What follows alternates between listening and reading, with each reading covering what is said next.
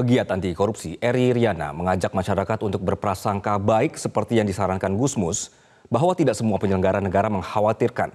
Ia menyebut banyak penyelenggara negara yang masih memiliki nurani.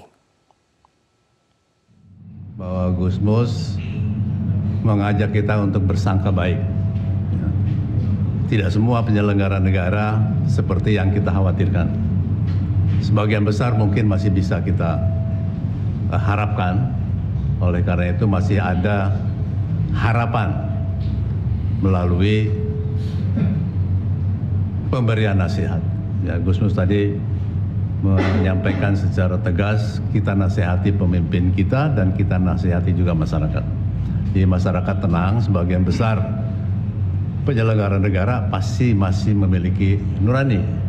Yang tidak memiliki itu sebagian kecil yang kebetulan memegang kekuasaan. Jadi Gusmus menggaris bawah itu dan kami juga sepakat dengan itu. Dan untuk itu tentu perlu bantuan kita. Jelajahi cara baru mendapatkan informasi. Download Metro TV Extend sekarang.